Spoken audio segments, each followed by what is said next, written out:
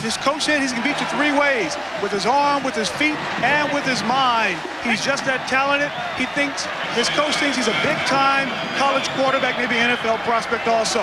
On the other side of the ball for Johnny Majors was run, run, run. You know Dorsett, you know Martin. Now you're about to meet Billy West. In 1994, he led the Big East with over 1,300 yards rushing. 1995 had a leg injury. In 96, he's back stronger and quicker, they say. We'll see tonight. Okay, Kellen, we will look forward to your reports from down at the field level tonight. Pitt receives to open this version of the backyard brawl. From the goal line, it is Curtis Anderson. And Anderson brings it out across the 25, and they say down at the 29-yard line. Well, the starting lineups for Pitt tonight. The Wild West show is back at Pittsburgh as uh, Kellen said after missing last year with a fractured leg, 1,358 yards for West his sophomore season. The wide receivers, a little bit of a question mark for the Panthers. Curtis Anderson has got to come up big at split end, and it's a solid group up front. Tony Orlandini at left tackle leads the way. He also is an academic All-American. West on first down. Bounces off a tackle. He will be hit behind the line of scrimmage and knocked down by Elijah Longino along with Bernard Russ. Here are the starters on defense for the Mountaineers. They run with a down three. Now, John Thornton is only a sophomore, but the coaches really like this big fella. Keep an eye on 96 tonight. The linebacking core, the leader, well, Canute Curtis is from Amityville, New York. His teammates call him the Amityville Horror. And in the secondary, solid corner, Mike Logan, number 23. In fact, the scouts say he will play on the next level. West again. Cracked hard as he goes into the line. Canute Curtis is the man who gets there first to make the hit on him. And then Jason Williams also helping out for the Mountaineers at a player down for West Virginia. Defense.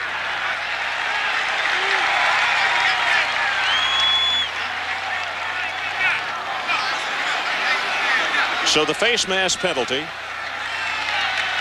And the Mountaineers. Well, Terry Monk's ref, uh, the referee tonight is his microphone not working right now. It's going to be a second down and five. And Mike, a good situation for West Virginia here because a situation where, actually for Pitt, I should say, they're going to have a second down and five.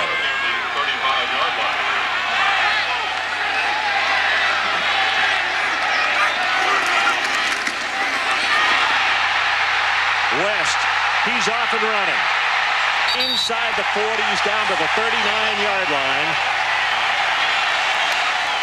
Ron, last year Pitt committed 35 turnovers. They gave up the football 28 times inside their own 50-yard line.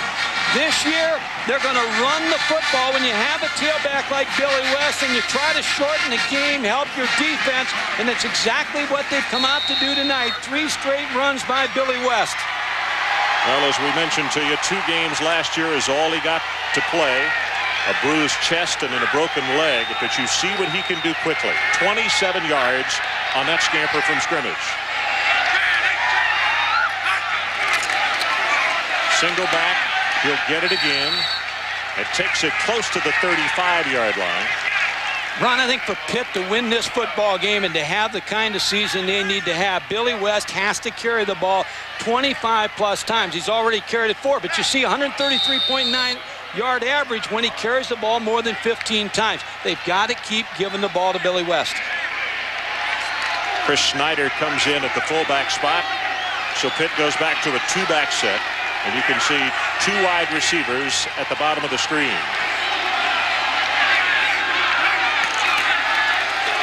Option play. Lytle will hold on to it. He will be tackled by Henry Slay.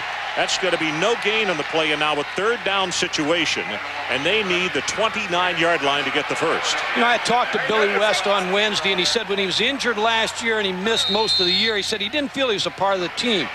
He felt like, you know, he wasn't out in the trenches with the players. He said, I just don't feel like it belonged. Well, tonight, believe me, those other 10 guys on the offensive team, the rest of that team on the sideline, sure glad he's back. He lost one. Lytle did an adoption. It is third down.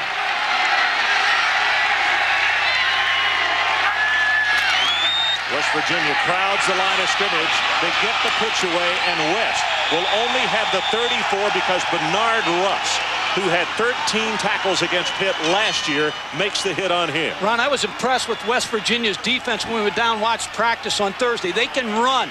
They've got beef up front. They can stop the run. They got linebackers that I think are excellent and probably one of the best secondaries in college football. So Pitt runs out of downs after the 27-yard scamper. Vanderpool goes back deep as you look at Nate Cochran, the senior out of Greenville, South Carolina.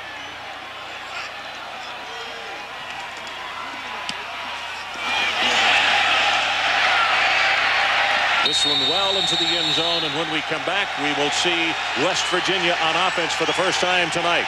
34 yards on the kick. We'll be back with more from Pitt Stadium after we pause for this.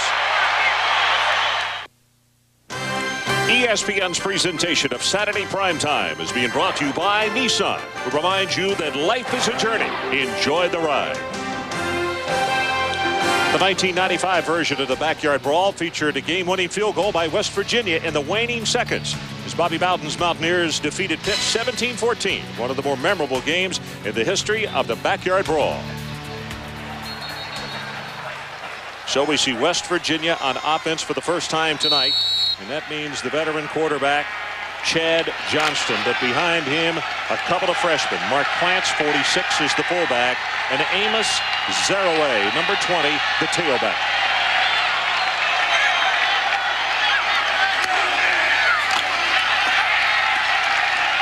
Plants, the big fullback, takes it straight ahead. So let's take a look at all the starters on offense for the Mountaineers. Chad Johnston is a senior, and he is healthy for a change. Solid arm and a very smart player. The wide receivers, boy, two of the best in the country. Vanderpool and Saunders. Vanderpool had nine catches for over 200 yards year before last against this Pitt team. And it's a young group up front in the offensive line, anchored by a veteran, Mike Horn, at guard. And he's nursing an injured ankle tonight, so we'll keep an eye on Mike, number 69.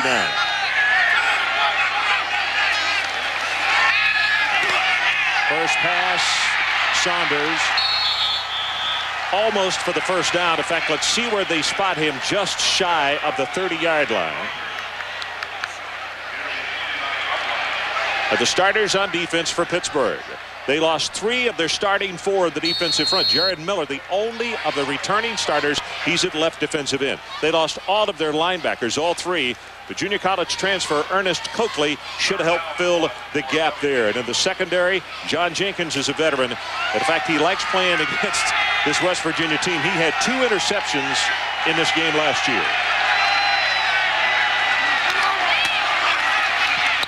Plants again as West Virginia tries to cross him up, running to fullback, but it is good for the first down.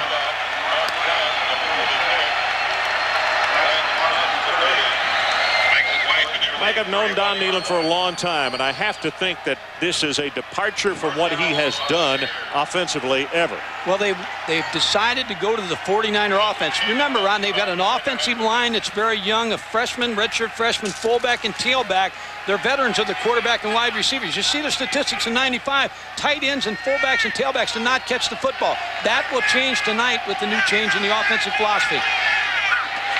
Fisher in motion back against the line of scrimmage. Zereoué off and running. And West Virginia says, we got our own number 20.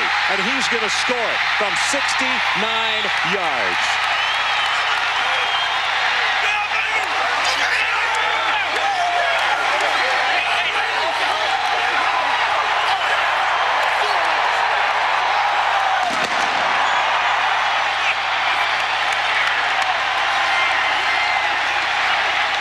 Don Nehlen in his office the other day was talking about his young tailback, and he said, I'd be willing to bet after Saturday night, people know about Amos.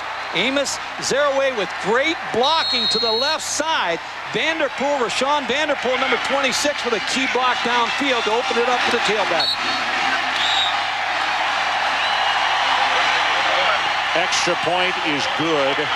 So let's take a break. Jay Taylor is the man who kicked it. 7 0 West Virginia. We'll be right back. Well, we talked a lot about this number 20 off the top of the telecast tonight, and as I said in the touchdown run, West Virginia shows that they have their own number 20. In fact, two unbelievable runs by these tailbacks early. Zereoué took his 69 for a touch. Well, that was the impressive thing about the redshirt freshman, able to go the distance, and I think it's, and I still feel like it's important in this game tonight to get a good start.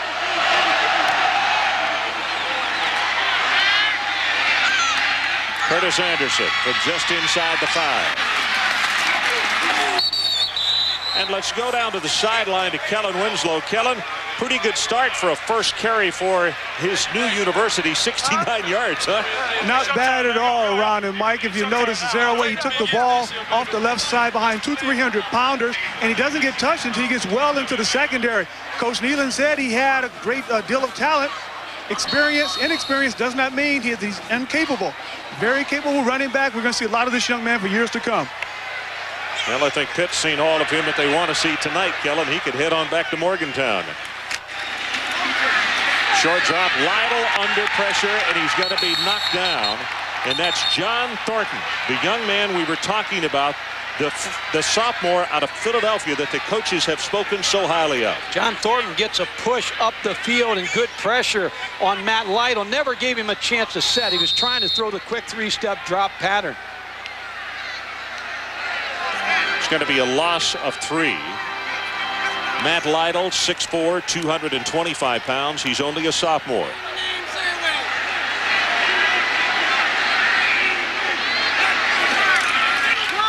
Draw play, Billy West going to be knocked down for maybe a yard gain as Baum comes in to make the hit. And let's check in for the first time tonight with Mike Tirico. Hi, Michael. Hello, Ron. This McDonald's breakaway takes us to the Commonwealth. Louisville taking on Kentucky on the deuce, and Raymond McClown fumbles the ball. Rico Clark picks it up, goes back 50 yards.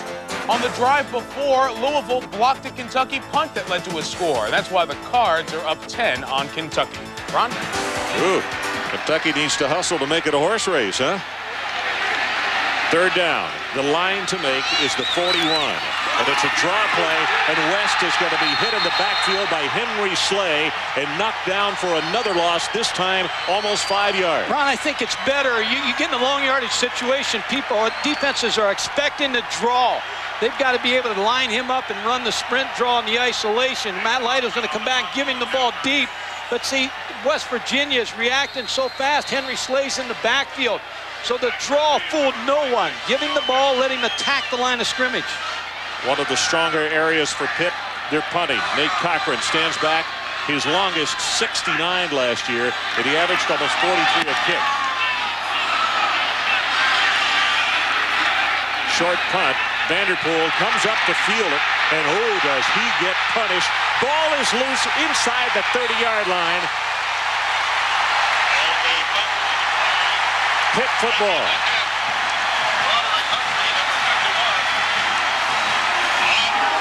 Kasparovitz makes the recovery. Rashawn Vanderpool really shouldn't have handled this football. You make a call, you make a word call and get away from the football, and he just never had the football. Took a lick and fumbled the football. Give a, a break and a life to a Pittsburgh offense that's been struggling. It was Humphrey who made the hit on him, Mike, and caused the football to come loose. Now I think, Ron, you just go right back to what you did the first three plays of the line, line of scrimmage. Give the ball to Billy West, let him attack the line of scrimmage. Well, the concern of West Virginia is Vanderpool, who, when they got him to the sideline, is down, and the trainers are working with him. We'll get a report just as soon as we can.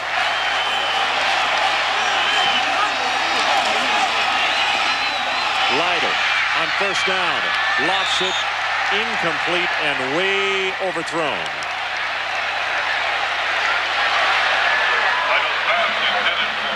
Now this is how important he is to this ball club. 95 receptions, just over 1,600 yards, nine touchdowns, and look at the average per catch.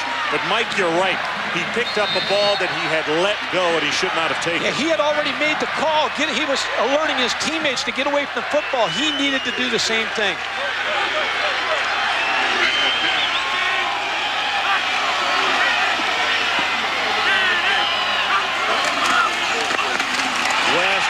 In the backfield again, and it's Henry Slay. Wow, that's two individual stops for a loss for Slay tonight, the big junior out of Ohio. John Marzak is blocking on Henry Slay, and because John Thornton takes up so much room inside, they let Henry Slay move around a little bit, and he took and made a move on John Marzak, and Marzak can't handle him right now, so they're going to have to double team Henry Slay to get any kind of movement on that left side. If you just joined us, 7 to nothing, at West Virginia on a 69-yard run from scrimmage by Zereoué. But West Virginia has just fumbled the ball back to Pitt.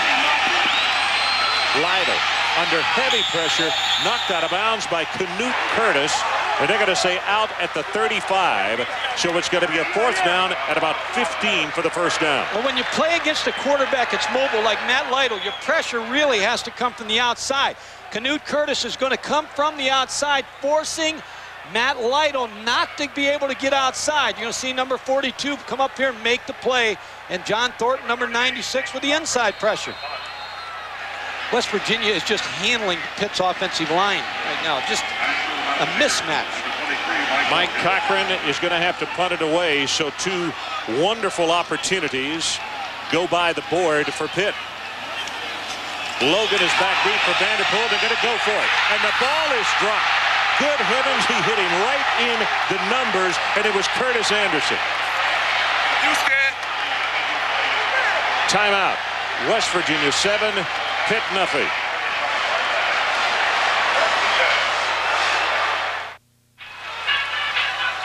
Oh, we're back 7 to nothing. West Virginia leading over Pitt. Zereoué with a 69-yard run from scrimmage. And the big story in this ball game so far has been the West Virginia defense stopping Pitt twice in their own territory, in fact, inside the 40.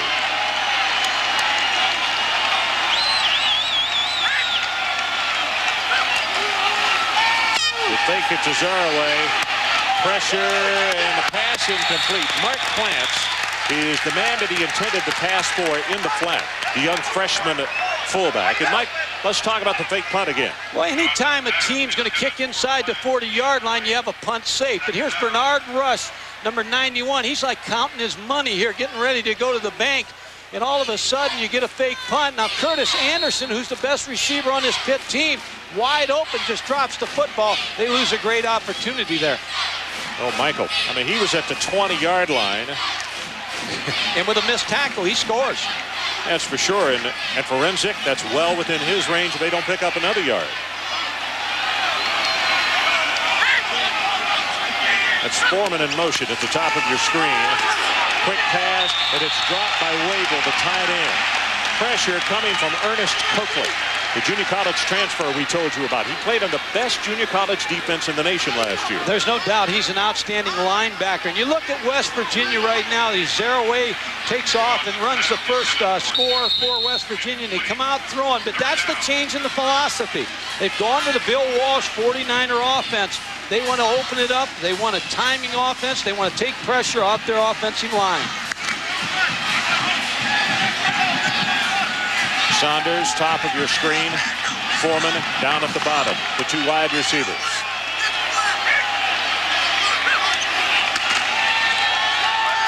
Johnson going to go on top.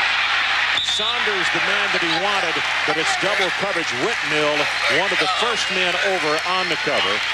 Also getting help from John Jenkins. Rashad Whitmill, number two, was injured uh, all week, so he's he's doing a good job right now early in this game. Mike, what is about to happen turned into a real weak spot for West Virginia last year. They went from the best punting team the two years prior to that to really having problems with their special teams. Don Nehlen said when they punted last year, he used to cover his eyes. He didn't even want to watch it. Number 36, Brian West, will take over for Stillings, who had been the punter last year. 105th in the NCAA. Not good. And now a timeout has been called by West Virginia to talk it over. They were one man short of the special teams. And you don't think that gets into Coach Don Nehlen may not watch last year. He's probably not going to watch this year either. So let's take a timeout. 7 to nothing, West Virginia.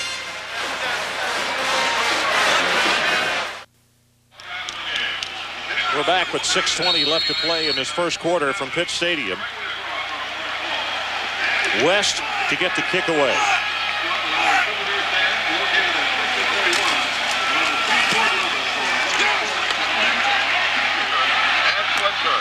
This is Jenkins from the 27. And now here comes a flag way downfield at the 25. It's a 39-yard punt and eight on the return.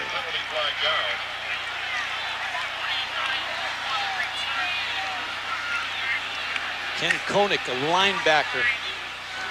Illegal block in the back on the return team. Guilty of that foul, Ron. Well, you'll see up to 100 great college football games, not on uh, TV in your area from ESPN Game Plan. Only $69 for the first season. Call your cable operator or DirecTV.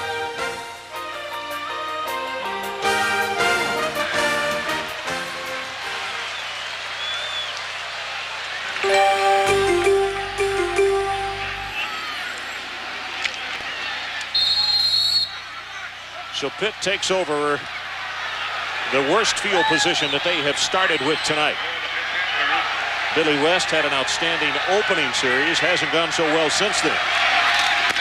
Gets it again. Five, ten, counted off at 11 yards as Charles Emmanuel is there to make the tackle from his strong safety position.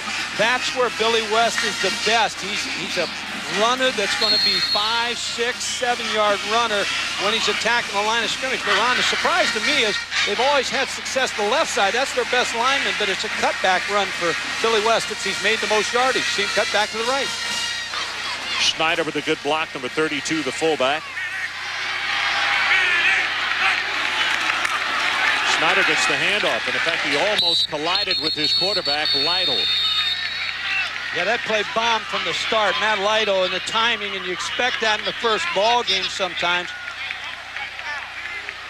Matt Lytle, I believe, is the key to this Pitt football team. Billy West, we know what he can do, but Matt Lytle is a good athlete. You've got to be able to get him on the corner with play action and nakeds and running the option. They visited, their coaching staff visited with Nebraska, so they built in some option plays. Well, not only does Johnny Majors like this young man, Don Nehlen made no bones about it. He said he's going to be a great one. I really like his talents.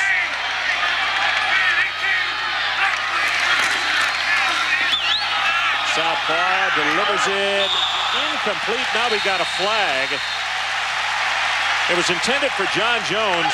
That may be pass interference, but Mike, right now, the pit receivers need to be flagged for really a horrible job. They're dropping footballs that are hitting them right in the hands. Matt Lytle, you're right, Ron. Put that ball right on the money to John Jones. He's got to make that catch. And when you look at John Jones, 86, he's 6'4 and 240. Last year, Pittsburgh threw 182 passes and only completed 10 to the tight ends. This might be the reason. They can't hold on to the football. He should have made that catch, although yeah. there's interference on the play. Mike, let me tell you something. Had he caught that, that would have been half as many as they caught in the first nine games because the tight ends accounted for two catches in the first nine. Those other eight came in the last two ball games. Well, there's no doubt they've had trouble there, but they've got a junior college player, Juan Williams, number 84. They're expecting some big things out of him.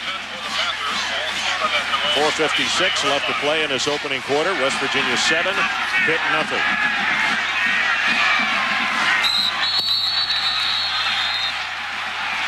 Now, we may get a flag on this now. Orlandini came off sides. And then you could see, you see him banging himself in the head. Schultz, I beg your pardon. And then it, it almost appeared as though a punch was thrown. Dead ball foul before the snap. false start on the offense. It will remain first down. Now, let's see. Curtis jumped first, and then Schultz came right after him. Ron, this is a running formation for Pitt. They've got two tight ends in the ballgame. What they're trying to do now, they're having so much trouble with this front of West Virginia, they're trying to balance them up with one more man in the line, man in the line of scrimmage. Option play, Billy West. Better get outside, and he barely gets the corner turned as Bastine, Perlo Bastine, knocks him off his feet. One of the things that you go to as an offensive coach when you're struggling with the front is you try to balance them up with that second tight end, and I would look for Pitt to stick with this. Canute Curtis with the force, and Lytle probably is going to say, if we run the option, I hope we don't run it to that side too many times more, or he won't be in the ballgame.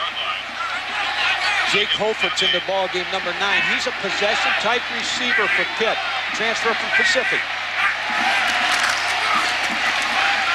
Roll the pocket, and there is another drop pass. Hover. That's three that Pitt receivers have dropped tonight. Wow. He was open. He played two years at Sacramento City College. Then decided to go to Pacific. They dropped football, and now he's here at Pitt. Caught five passes last year. Had a chance for his first catch. Took his eye off the ball and took his eye right away to Perlo Bastine. They're working on the young defensive back. That's Gary Nord. He's the wide receiver coach. For Howard Schnellenberger at Oklahoma and Louisville. Outstanding coach. So they got a third down. And if Pitt wants to keep this thing going, they need it to the 47 and a half yard line of West Virginia. Mountaineers lead it 7 0. Blitz coming up the middle. They pick it up, and then he runs right into the defensive end. Henry Slay is there, and Bernard Russ also on the stop. That's the third sack of this opening quarter. And what Pitt didn't want to happen is the fact that they get in long yardage situations because West Virginia likes the blitz. They think they have the secondary to man up with their wide receivers. They're not catching the ball anyway. It's attack the quarterback by the West Virginia defense. I'm a little surprised Vanderpool is back deep for West Virginia. So obviously his ribs are better than we thought, Mike. Cochran with the kick. Fair catch this time, and he makes it. And let's go down to the sideline to check in with Kellen. You got a little bit more on that injury, I understand. Yeah, Ron and Mike Vanderpool has bruised ribs. He They wanted to hold him out, but he was fighting with the trainer to get his helmet back to go back into the ball game. As you can see, he was waving his arm coming out. He's going to be a little bit sore, but he wants to play this ball game badly. Kellen, they probably told him to fair catch that ball, and for a couple reasons. One, he's even a veteran, but they'd like to get him right back in there and make a catch, feel good about himself. They've got two outstanding other receivers, David Saunders and Sean Foreman, so they'll get him back in this game. Yeah, they brought him out and set him down, and they're going to work him back in slowly, Coach. Okay, Kellen. Chad Johnston, Zereoué gets the handoff, and oh my, he's human. He only gained a couple.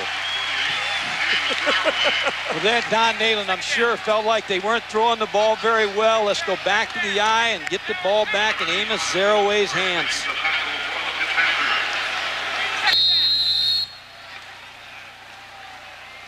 Eight, six, and two against Pitt, beginning his 17th year in Morgantown, West Virginia. As you see the clock running down just under three to play in his first quarter.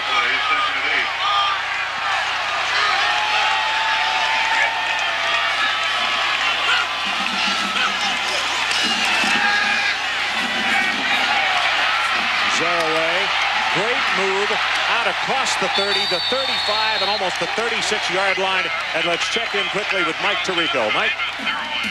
Ron, this McDonald's breakaway takes us to Boulder, where Koy Detmer looked pretty darn good coming back off of last year's knee injury. 20 of 33 is passing stats, 254 yards, one of three touchdowns throwing there. He also ran one as Colorado was able to handle Washington State today, 37 to 19. Full scores and highlights with Kirk Herbstreit and Lee Corso when we see at halftime. Ron and Mike. Mike. So the Colorado Buffaloes off and running as expected. Zereoué hit behind the line of scrimmage, breaks the tackle, and he winds up picking up nine yards in the play. What kind of strength the youngster has in his legs as Jason Chavis finally stops it. Well, Ron, you see West Virginia in the eye. That's Don Nehlen's past. That's Doyt Perry and Bowling Green where he went to school and the Woody Hayes principles.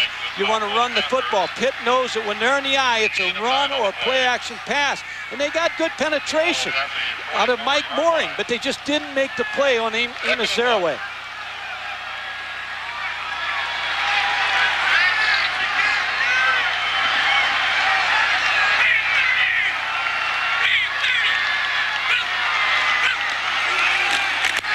The guard, a quick trap, and the big fullback plants, takes it over midfield. And in fact, that's going to be enough for the first down inside the 45-yard line. When you have a veteran quarterback like Chad Johnston, who's been in this game now three straight years as the West Virginia quarterback, he can go to the line of scrimmage find the defensive nose guard lined up on the outside of the guard and check off to a trap, which he just did with Anthony Green, and the change move. Great call by Chad Johnston.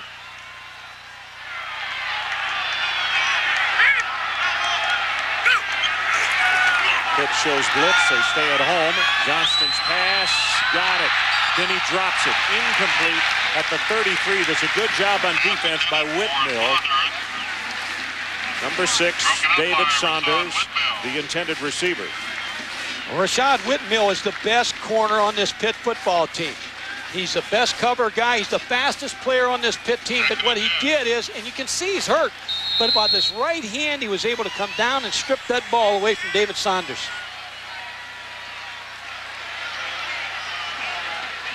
Well, we didn't know how much this young guy was going to play tonight, did we? No, he hasn't practiced, and that's a fear you have as a coach. When a guy doesn't practice, and all of a sudden you play him, he may make some mistakes.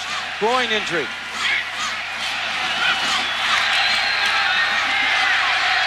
Pass at Zereoué breaks one, can't break the second, but he, nope, now they're going to say his knee was down just short of the first down. Connick got him. Here's the beauty of the 49er offense mixed in with the I. All of a sudden now, Amos Zereoué, you run up the middle. Now you're throwing the ball outside. He makes the catch, and if you miss a tackle, he's off to the racetrack. Key points of a 49er offense, it's on time. Quarterback quick releases, gives your offensive line, you don't have to protect as long. Attacks the underneath coverage, yards after the catch. Remember Jerry Rice, all the yards he gets for the 49ers. Progression routes, you always have a check down guy, the third route, and that's what they did. Amos Zereoué moves the change.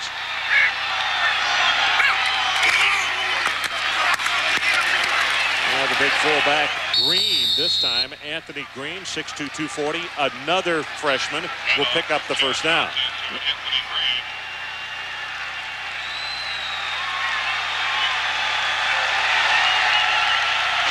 Catch ESPN College Football Thursday nights at 8 p.m. Kick off the season as Notre Dame battles Vanderbilt. But first, start it off right at 7.30 p.m. Eastern Time with the Weekend Kickoff Show.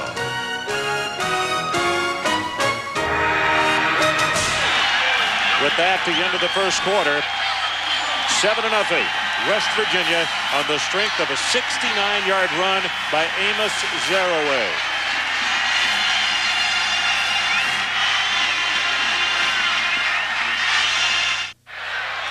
Well, the West Virginia defense getting a rest, and so far they have stopped the hope of Pitt, and that's Billy West. West 10 carries, 41 yards, and the number 20 of West Virginia is the one who has stepped up huge in this ballgame. Zereoué, the freshman, 102 yards in the opening quarter.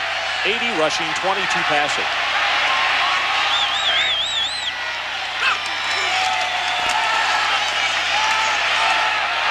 Johnston got a man.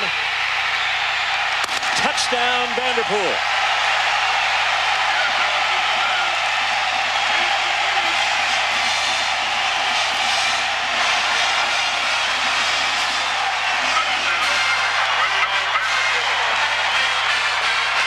33 yards. And Mike Gottfried, you talk about a case of huge guts. Here's a man with bruised ribs, and he goes parallel to the ground to make the touchdown catch. When you talk about West Coast offense and, and Bill Walsh offense, you need receivers like Jerry Rice and John Taylor. Rashawn Vanderpool is the college version for West Virginia. You could see he was in pain as he came to the sidelines. Chuck Brown is in pain as well because it's him that they threw over for the 38-yard touchdown. Chad Johnston was looking where the free safety John Jenkins was lined up. Man coverage on the outside. Vanderpool is going to run by and run a corner route here for West Virginia. You're going to see the free safety after we start the play. The free safety is going to appear. There's John Jenkins. He's coming up. There's no one to defend right there. Now the corner route to Rashawn Vanderpool. Wide open touchdown. But what Pitt was trying to do was slide John Jenkins up inside. But Rashawn Vanderpool with the corner route and the touchdown, a great throw by Chad Johnston. And let's check in with Kellen Winslow down on the sideline. Kellen? Ron and Mike, I'm standing right here next to Vanderpool, who came off the field after making that outstanding catch and hitting the ground so hard, stopped, took off his helmet, and then threw up right in front of one of the trainers. We're looking at him right now, checking him out, making sure everything is okay. He's a tough cookie. He may go back in the ball game. Who knows? Kellen, uh, I can tell you from the replay, he came down on the football. And for a guy who's got bruised ribs, uh, I can understand why he uh, threw up when he got to the sideline. I'm surprised he made it that far. Well, he was walking off the field. He had a glazed look in his eyes. He took another two or three steps and stopped and took his helmet off. He seems to be up and moving around. Oh, but this kid He wants, wants to go play. back in. Yeah, that's there's no doubt about it. But you, uh, I don't think he needs to fall on the football anymore tonight if he's going to play in the coming weeks. So, Hackett with the kickoff. From the seven-yard line, this is Curtis Anderson, got an opening. At the 40, one man to beat, and he just across midfield. He'll be knocked down, but that is a great return and great field position as Charles Emanuel came from the special teams to make the tackle number two.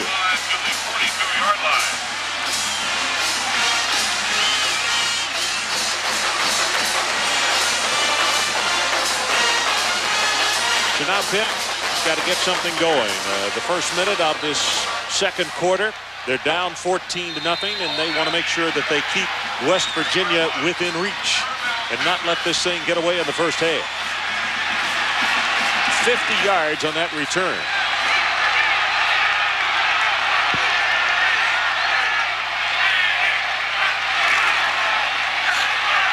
Play action didn't do anything. Lytle loses the ball. Canute Curtis causes the fumble and then makes the recovery.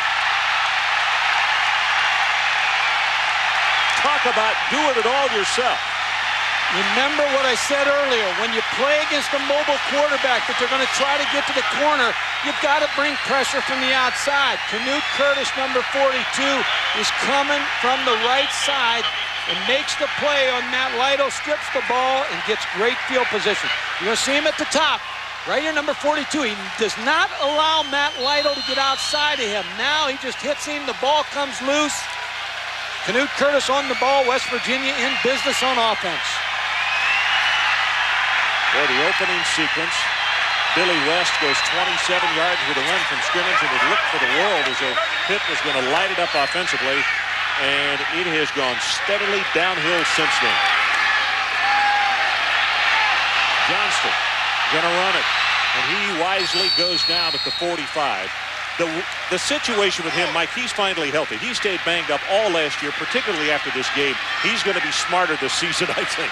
Oh, he's an outstanding quarterback, Ron. I want to go back to the touchdown play and what Chad Johnston saw when he looked up. This is a corner. This is a corner. So that means if the both corners are on that side, it's a blitz. Now, so he knows he's got a blitz coming. He's got one-on-one. The only question is the free safety. Stop it right here. Here's the free safety. That's John Jenkins. So it's one-on-one all the way. Chad Johnston read it perfect through the touchdown pass. Branch. And the fullback inside the 45. is to the 43 as Pegram and Curtis McGee combined on the stop, and that's a gain of five. And Mike, one thing that you need to make note of, rarely has West Virginia been held under four, five yards of carry every time they've run the ball this ball game. You're exactly right, but what's open the running game is their passing game. Got the fear of Vanderpool and Saunders. We haven't even seen Saunders yet and Foreman. They're two outstanding receivers.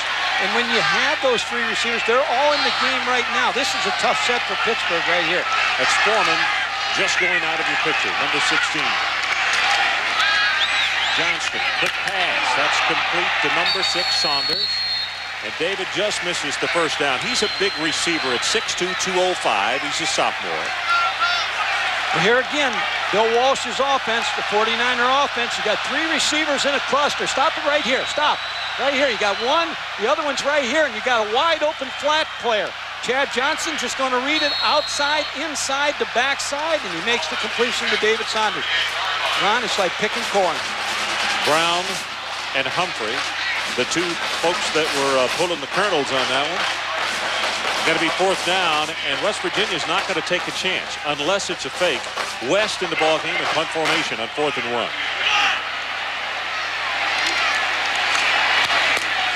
Kicks it very, very high. Jenkins runs away from it, but a hit at the five, And it'll go into the end zone.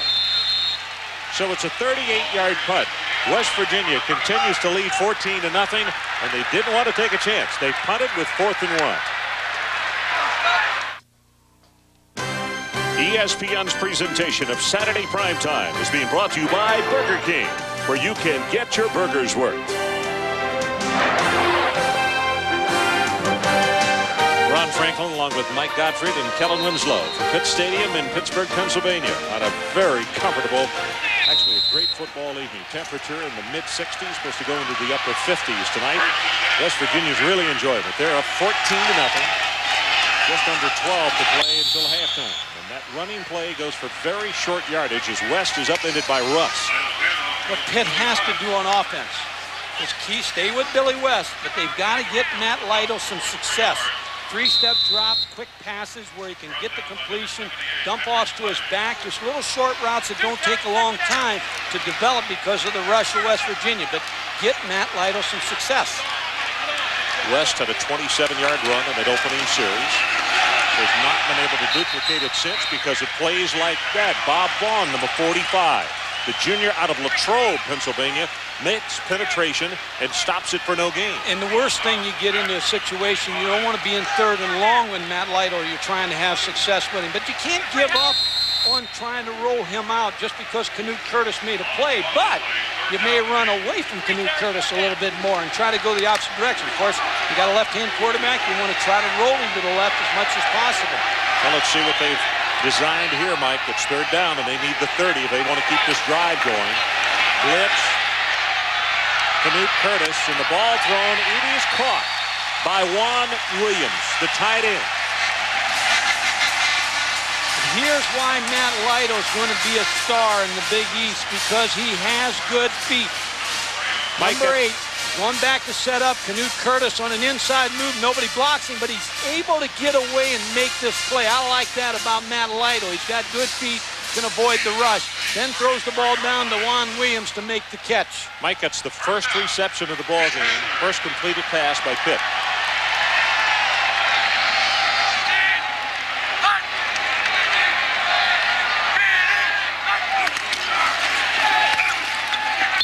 Straight ahead, Snyder the ball carrier. Baum is down at the bottom of that stack.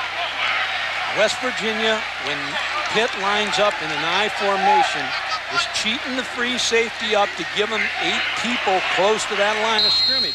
First down is a good down for Pittsburgh to try to throw the ball against Don Nehlen's defense. Kirk McMullen checks into the ball game. He is a youngster, freshman out of Imperial, Pennsylvania. 6'4", 255 pounds. This gained a lot of weight. Option. He'll keep it. Crosses the 43 to the 44 as Williams and Emanuel combine on the stop. Close to the first down, but from where the where the uh, side judges come in is going to be short, and a player is down for West Virginia. Ron, I like this set by Pittsburgh. It's a two tight end set, and that balances up the defense.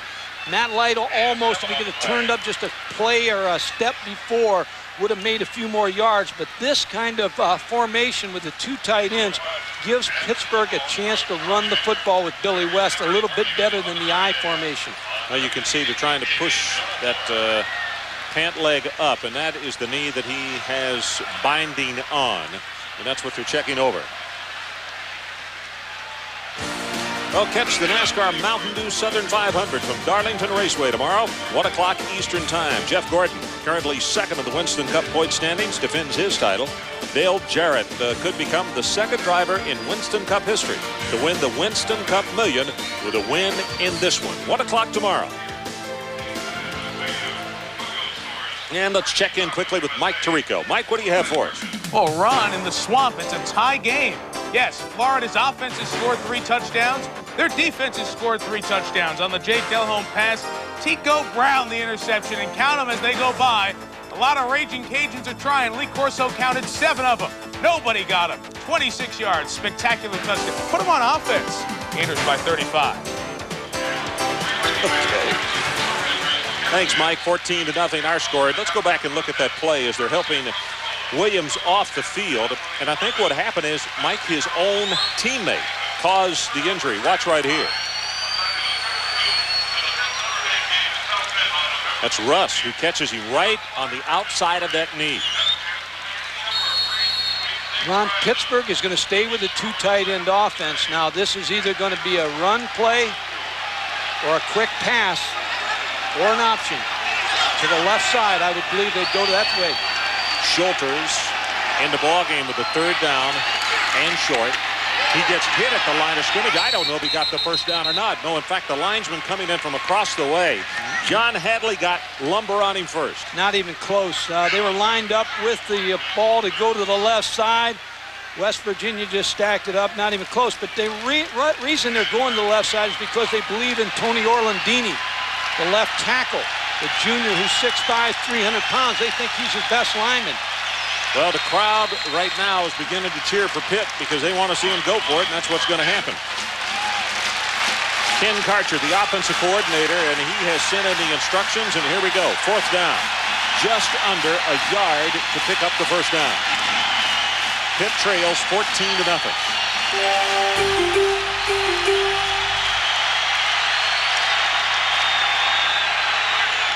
Trying to draw him offside. Call timeout. You try to draw them offside. If they don't come offside, you take the delay of game penalty and punt the football. Nate Cochran will come on, and they will kick it away.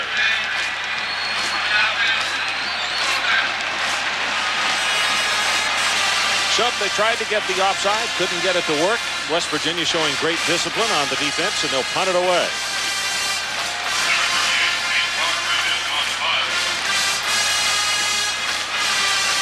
Logan is the man back deep for West Virginia, number 23. And in fact, he's got a little bit of an ankle turn, but Vanderpool's got the ribs, so I guess they decide that still Logan is well enough that he can go.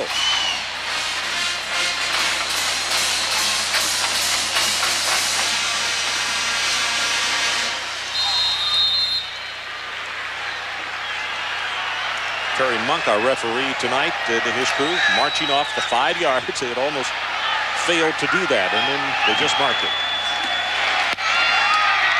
Great kick by Cochran. Wow. This is going to hit in the air at the three, and it takes a Pittsburgh bounce out of bounds at the six and a half yard line. What a missile. Timeout on the field, 14 to nothing West Virginia. That is a 57-yard punt by Cochran. And now for a Burger King Students of the Game from West Virginia sophomore center Eric DeGrow. He's a biology major with a 3.94 GPA. And from Pitt, junior running back Billy West. He's a civil engineering major with a 3.0 GPA. Burger King congratulates these fine student athletes. Well, a look from the goalpost where West Virginia is scrimmaging. The six and a half yard line following that beautiful punt by Cochran of 57. Chad Johnston, who's had an outstanding night. Senior from Peterstown, West Virginia. Zereoué gets by one, gets by a second, and he's loose. In the secondary at the 30, still putting on moves, and he'll take it all the way out to the 38-yard line. Harris makes the tackle, but that is a 32-yard run. Well, the coaches of West Virginia said he'll make you miss. He broke all Jim Brown's Long Island high school rushing records. Amos Zereoué is a special running back. And Ron, you talked about the field position. Look where they're lining up. Amos Zereoué is going to change that field position right away. Bad tackling in the secondary by Curtis McGee, number 35. Another bad tackle by Rashad Whitmill, number two. But those are guys that didn't practice.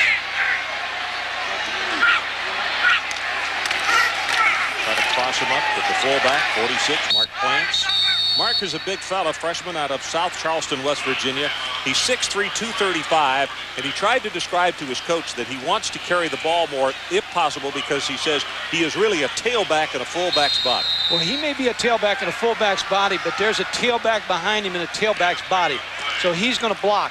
And uh, every now and then he'll get the ball. But Amos Zereoué is the man they want with the football at West Virginia.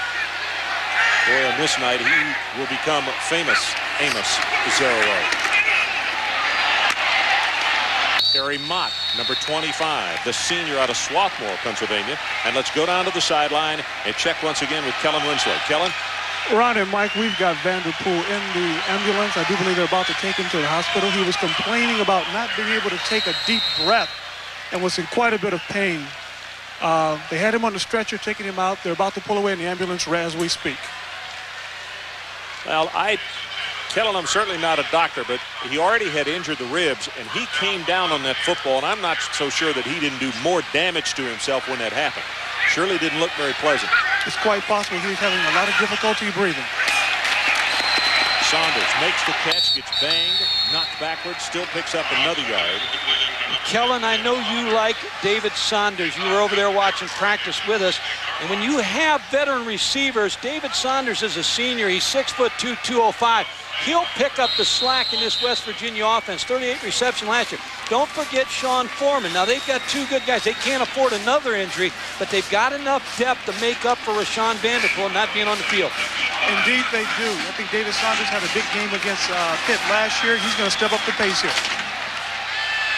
Second down. They need the 41-yard line of Pitt, 14 to nothing. West Virginia leads. Zereoué back in the ball game. Nothing to the left. And I tell you, if he doesn't get tripped up there, he had a big defensive lineman, Frank Moore, to get around, but it was Roderick Humphrey who tripped him up. And they'll have a third down at about four. Roderick Humphrey, if he didn't make that tackle, I believe famous Amos would have been around the corner again have. for a touchdown. Might have run it back into the boundary and, and been gone because, as I said, Frank Moore was the only one over there with him. They can forget about that famous Amos Cookie guy in uh, Morgantown, right? This is the new famous Amos. He's crumbled here. On third, they swing it out to Zereoué. Tries to get somebody to miss, and that is a nice open field tackle by Whitmill. Rashad Whitmill, the sophomore out of Friendswood, Texas, makes the stop, and it's going to be fourth for West Virginia. Even though that play doesn't work, it strikes fear in the Pitt defensive coaches because when you get Amos Zereoué out there and all of a sudden he makes that catch, you better make the tackle. You've got one guy to make the tackle. If you don't, big things are going to happen. West is back to punt. Jenkins, John Jenkins, the junior out of East McKeesport, Pennsylvania, back deep for Pitt.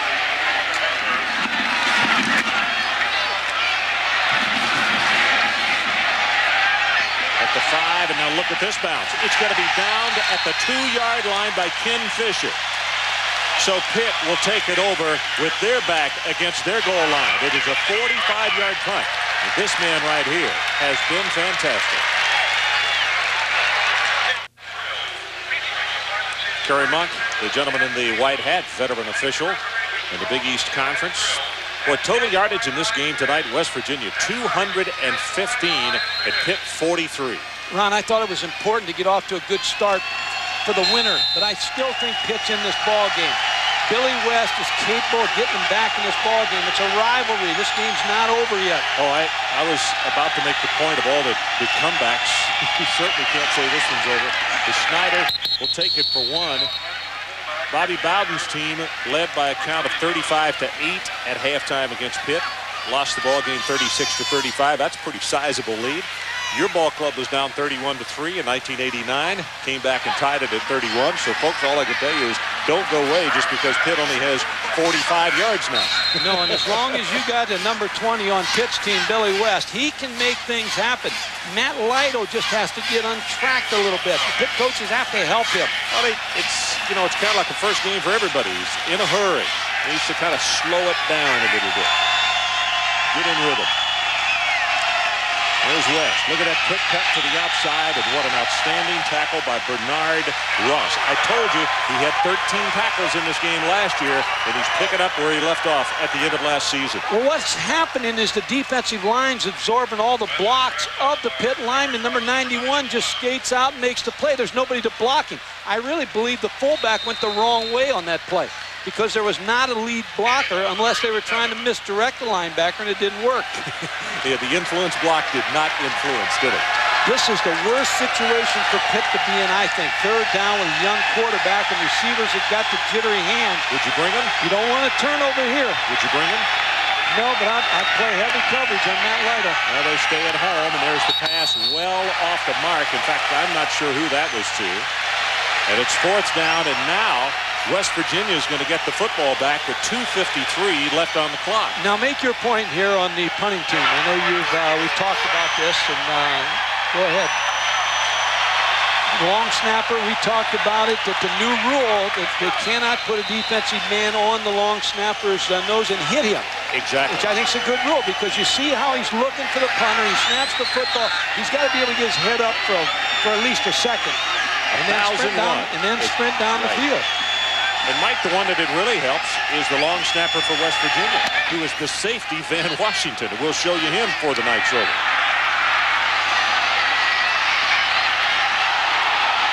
Logan inside the 30, still going, and he is down to the 19-yard line. And let's go quickly to the sideline. Kellen Winslow is with a former great here at Pitt. Anybody there? I can't hear anything.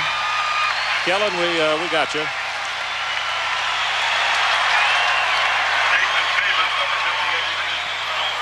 We're down on the field here with Hugh Green, the All-American from Pitt. You, you spoke with the team yesterday. What did you say to them? Well, I told them that there's the beginning of everything and that today was the beginning. And uh, right now they're down by 14 points, but they, they sort of dug a hole for themselves, but they're not out of it.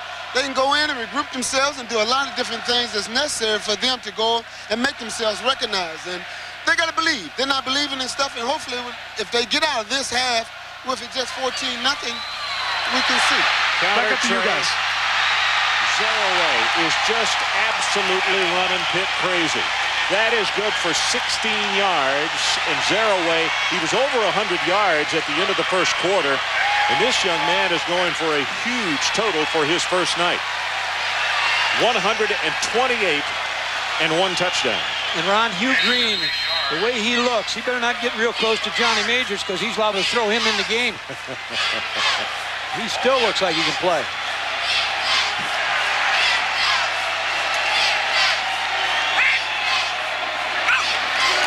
First down, straight ahead. Plants, the fullback. Did he get in?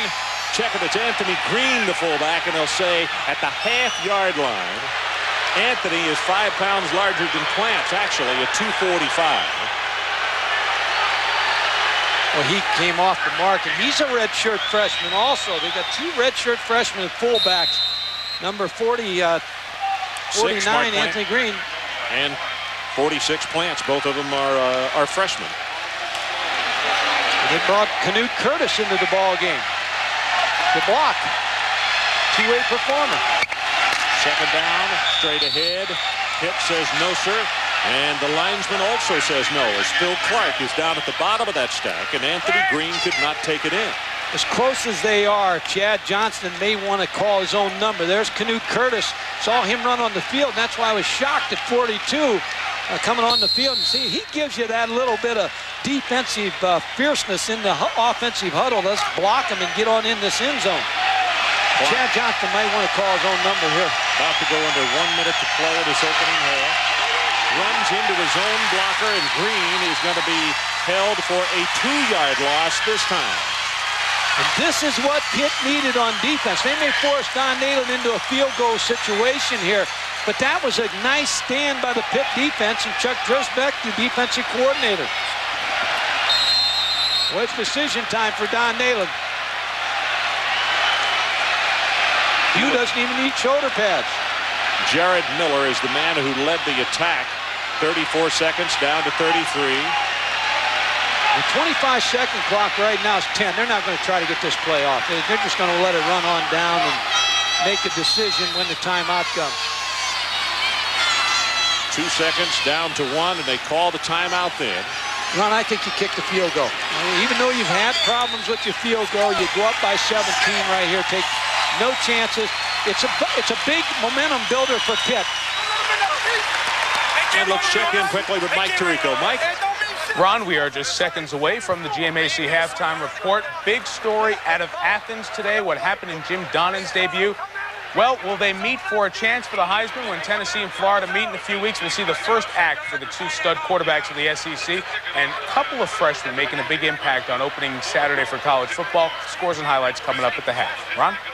Okay, Mike. Uh, boy, freshman, freshman running backs garnering a lot of attention. We saw Irvin this afternoon for Michigan State. Wow is all you could say after watching him. Four touchdowns. He is really something. And Amos Zereoué here tonight in Pittsburgh for the West Virginia Mountaineers also turning some heads. When we talked about momentum, I think that West Virginia has to kick this field goal or Pitt comes away with a late charge here at the half. Mike, I'm not so sure that they might not have been better served to have taken a five-yard penalty. He's got a really severe angle right here. He'd have a better angle if he was five yards back. Good thought. You practice this every day, oh. You practice the hard shots. Taylor to attempt the field goal, and let's see, they're going to spot it at the 10.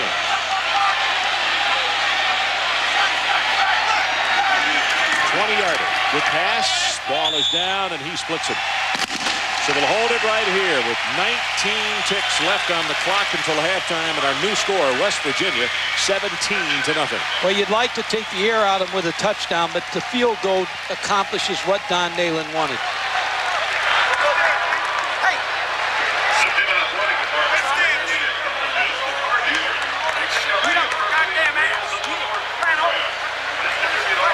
Well, the highlights in this first half, here are the things that have gotten Pitt in trouble. The first time Zereoué touched the ball, this is the freshman, and Amos is off. 69 yards, and look at this cut, and look at that cut. Gets a great block from Vanterpool, the wide receiver. It takes it 69 for the score. Fourth down. Cochran rolls out, throws Anderson wide open, drops the fourth down pass. And then Vanterpool, he had already injured his ribs, and this one may have taken him out of action for a while as he comes down on the football. But as you look at Zereoué, his total yards we had just a moment ago at right at 130 yards. In fact, we're going to say 128 and one touchdown, and that's on only six carries. Billy West, well, he's had a tough one. He has had defensive players all over him all night long. Particularly Baum, Thornton, Henry Slay, Canute Curtis, and Bernard Russ. They have been all over Pitt's number 20.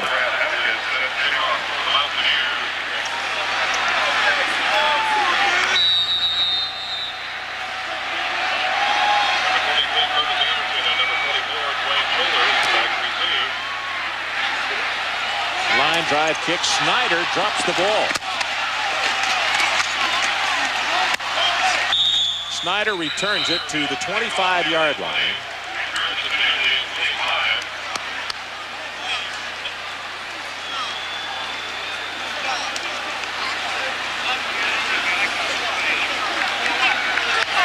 So we have 11 seconds left until halftime. We'll be checking in with Mike Tirico in the studio, and me and Lee Corso will bring us up to date on the day's happenings in college football, and we've had some surprises. I'm shocked at what happened with the University of Georgia. Now, Southern Mississippi's been known to puncture the SEC's I, I bubble. understand that, but I'm still shocked. I thought that they were going to be the sleeper team. They, they slept. Yeah, they did. Billy West, right up the middle, four seconds, down to three. They'll call a timeout as the clock will move to five seconds, but the chains will have to move. That is why they stop it. The Pitt calls the timeout. What Johnny Majors has to do with his ball club is when you've lost and you continue to lose, and West Virginia's beaten Pittsburgh four straight years, your confidence level is down. And he has to keep that up, and he's got a Billy West. He's got to be the guy to get him back in this football game. You can see that Billy is averaging 3.6. And it has been a tough time for him. Now, he also missed nine games last year, and his timing may take him a little bit longer. But this man right here, look at his average per carry, 21.2 for Amos Zereoué. You know, Ron, when you talk about that, Amos Zereoué's had a great first half, but give the credit to West Virginia's defense because they have controlled the line of scrimmage. And with that outstanding secondary, it allows you to do so many things, but they're so strong up front and they have depth on defense. This may be the best defense that I've seen at West Virginia in a long time. Now, that's a lot. That's saying a lot. But this is a talented team.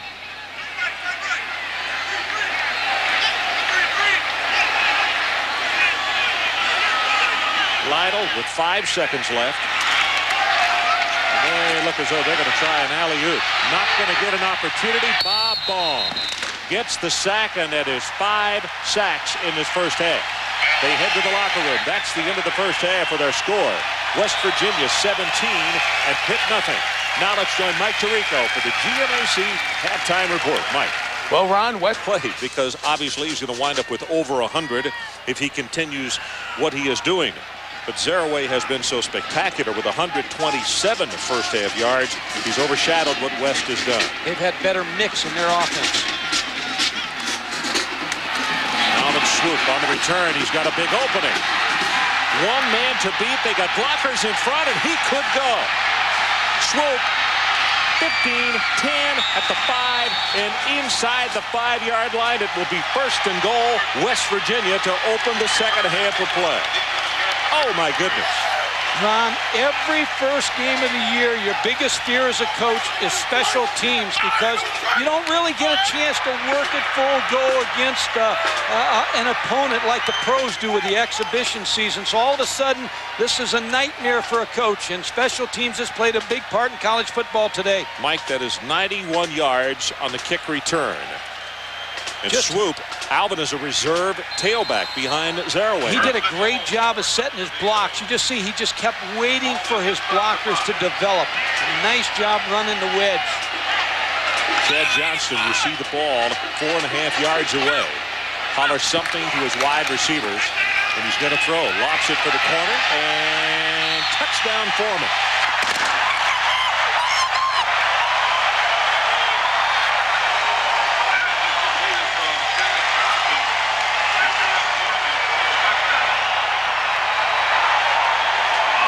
Man coverage again, Ron, and I, am very impressed with the job Chad Johnston is doing tonight for West Virginia. He's not just throwing these passes, he's picking up blitzes. He knows when he's got man-to-man -man coverage, single coverage on the outside. He caught him again with Sean Foreman. Jay Taylor with the extra point attempt. He's got it. And 20 seconds into the third quarter. It is West Virginia now up by a count of 24 to nothing. Take a look at Johnston. Here's the throw. He knows he's got one-on-one -on -one coverage on the outside. That's Chucky Brown trying to work against Sean Foreman. He throws it to the outside where it's a catchable pass by the 6-1 receiver. Well, Vanterpool gets so much attention, as does Saunders, but Foreman, who is only a sophomore, and you look at Johnston's numbers tonight, 8 of 12, 73 yards, two touchdowns. And Chad talked with us on Thursday afternoon when we were down in Morgantown about what he thought he had accomplished during the offseason. He said he worked really hard at his conditioning because he'd always been hurt. But also, he wanted to be the mature quarterback that this football team's need needs to take them to another level. And that's just what he's done tonight, Mike. Oh, I agree wholeheartedly, Ron. And I think the other thing that's important is Chad Johnston has a great relationship with his offensive coordinator, Dan Simrell. He's been his coordinator all through his career at West Virginia and Chad Johnston, they think alike. They talk in their meetings. They understand defenses. And when you have a veteran quarterback, he can make so many things happen at the line of scrimmage after his pre-snap read. Well, there, there's some strong talk in the Pitt locker room, which we'll actually get to from Kellen uh, in just a bit. But, boy, I'll tell you what. Talk about taking the wind out of you to open a second half. 91 yards on a kick return and then a quick pass in the end zone for a touchdown. Special teams will do it to you. They'll let you down, and you can make a lot of hay if you've got good special teams.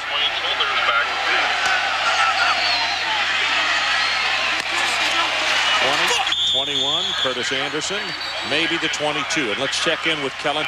Kellen, exactly what did happen at halftime in the Pitt locker room? For Ron and Mike, first of all, Coach Majors got up and he talked to the team about what they needed to do, the technical things, catch the football, uh, block up front, take control of the line of scrimmage, and immediately afterwards, Hugh Green got up in a very emotional tirade, challenged them to overcome adversity, adversity to stick together no matter what happened. Then, of course, the offensive line was challenged by not only the quarterback, but the offensive coordinator. Yeah, there's going to have to be a few more challenges in this second half because the Mountaineers have already tacked one on.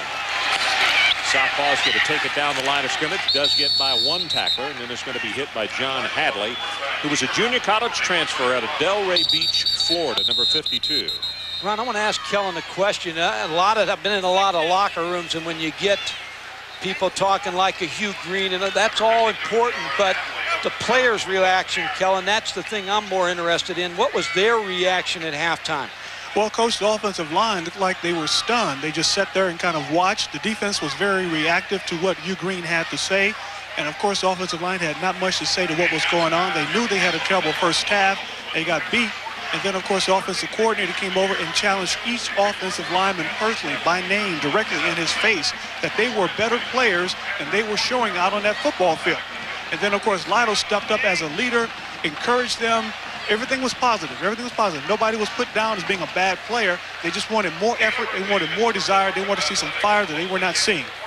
Well, then this drive has to be something that works for Pittsburgh because if they their offensive team's been challenged, it's time to deliver. The reason for the delay is there is an injury to a West Virginia player because he's surrounded by the trainers. We've been unable to pick up his number. A reminder, catch the NASCAR Mountain Dew Southern 500 tomorrow from Darlington Raceway. It starts at 1 o'clock. Jeff Gordon, currently second in the Winston Cup point standings, defends his title. Dale Jarrett could become the second driver in Winston Cup history to win the Winston Cup Million with a win in this one tomorrow. 1 o'clock on ESPN. Bernard Russ, who has done an outstanding job at linebacker tonight. Watch the right side of your screen as this play develops. And I think you'll be able to see what happened to Bernard when he went down. Number 91.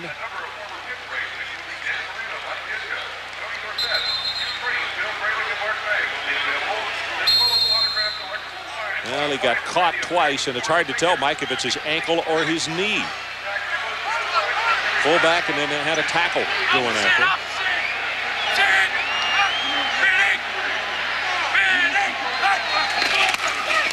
This is Snyder hit in the backfield, and he's going to be knocked down for a loss. It's Canute Curtis and Mike Tirico. What do you have for us, partner? Oh, this Louisville, Kentucky game, our McDonald's breakaway as we send you to the Commonwealth, and we're talking about Tim Couch, the Kentucky freshman quarterback who's made this a 10-point game. Don't forget Jason Payne, the quarterback from Louisville, this big 32-yard run set up at Otis Floyd, one-yard touchdown run. The Ville leading by 17. Louisville surprising Kentucky there. And another one of these big rivalries that we talk about, sections of the country where it is extremely important. Third down, Lytle steps up into the pocket, gonna run. And he's gonna be short of the first down, tackled at the 29 by Hadley and Longino. So Pitt will have to punt it away, and Nate Cochran has been busy, busy, busy tonight. Looks like it's going to be Logan who is back deep for West Virginia since the uh, injury early on to Vanterpool. That normally is his spot on the field. And he made a great run the last punt he caught uh, against this Pitt special teams.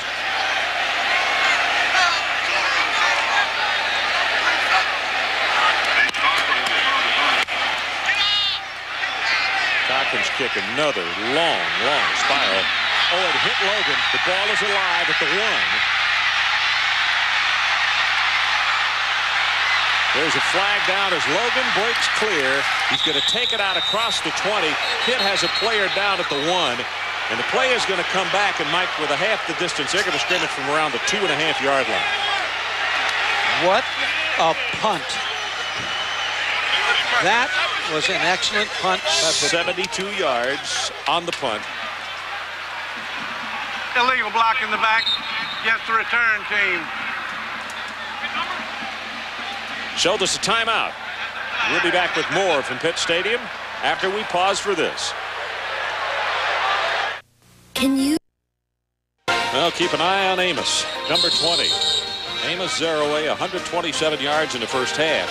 And he broke one for a touchdown. In fact, his first carry in West Virginia history, 69 yards for a touchdown. Reminding you that in high school, that he broke every high school record Mike, what was it? Over 5,300 yards. He scored 59 touchdowns in high school. Pretty good running back held those two, Jimmy Brown.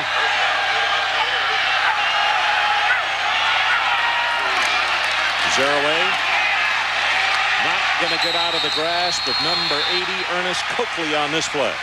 Ernest is a little excited about it. We mentioned Ernest was a junior college transfer out of Hudson Valley Community College and played on the number one ranked junior college defense in the nation last year. He's a fast player, but he's only had about 29 practices here at the University of Pittsburgh. He wasn't, he's a junior college transfer, but he didn't get here in the spring, and he's a little bit like a wind-up toy tonight. You never know where he's going to go because he's not sure of the defense. He's not sure where he's at. Uh, he's sleeping in a different bed. He's eating different food. He's around different people. First time in front of this kind of crowd. Play action. Johnston, he's got him there, complete at the 30-yard line. Did he catch it out of bounds? No, sir. First down, West Virginia, Sean Foreman. And Mike, we were talking during the pregame warm-ups. Vanterpool and Saunders are so impressive.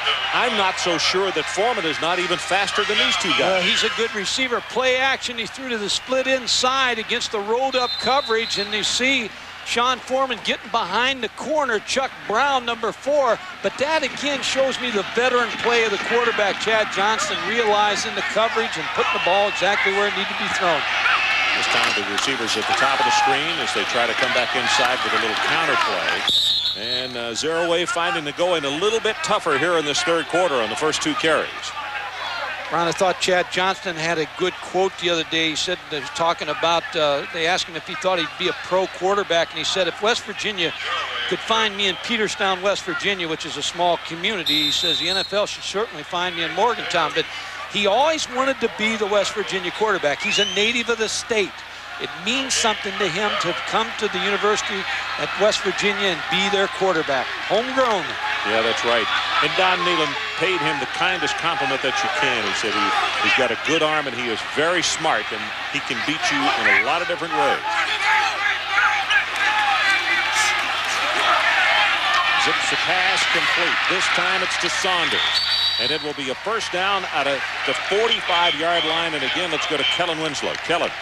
Ron, adding to what happened with uh, Chad Johnston over the summer, he stayed here in Morgantown along with about 80 other players from West Virginia and worked his butt off, getting in better shape, getting leaner, more muscle mass, less fat, and becoming the mature leader that he needed to be for this team this year. The coaches were ecstatic about the fact that he was here all summer long. Well, the interesting thing about that, uh, Kellen, is the fact that they had I think 82 players who stayed over in Morgantown this year. That's far and away more players than they had ever had. Used the motion, Zereoué with the run, and look at the quick little step. Couldn't get by Page, big Solomon Page, that offensive tackle, 6'6", 300. Couldn't dance by him, and then the defense got him. Every now and then, you've got to be able to run the ball out of split backs. When, when you split the backs, it's really a pass formation. There are a few runs. You can run a draw, you can run a trap, you can run a power sweep. But people expect when you're in a split back to throw the football, which West Virginia has done very successfully tonight. Every now and then you've got to run the football. Even though that play didn't gain a lot of yards, Ron, that will help this offense. Eight consecutive completions by Johnston. He's now 10 of 14 for 115 yards and two touchdowns. Got it complete to his tight end, Wable, who fumbles out of bounds, so it'll be dead right there at the 38-yard line. You see the beanbag come down.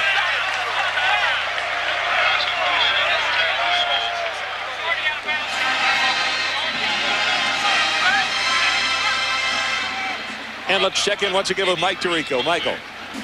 Well, Ron, Steve Sarkisian lit up Texas A&M for six touchdowns. It's the Indians of Arkansas State tonight. They're in Provo, 15 yards to Kaipo McGuire. That's the first score, and BYU leads by seven. Ron, that BYU game that was on ABC with Brent Musburger and Dick Vermeil, they did a great job on that game.